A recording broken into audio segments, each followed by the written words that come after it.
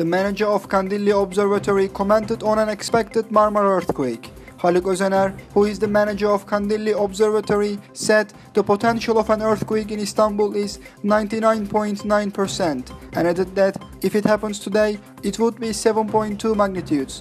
If it happens 20 years later, it would be 7.4 magnitudes, or 40 years later would be 7.5 magnitudes. Özener commented on the fault line at Marmara region and said, if this fault line breaks, the earthquake would be even bigger. We are coming towards the end.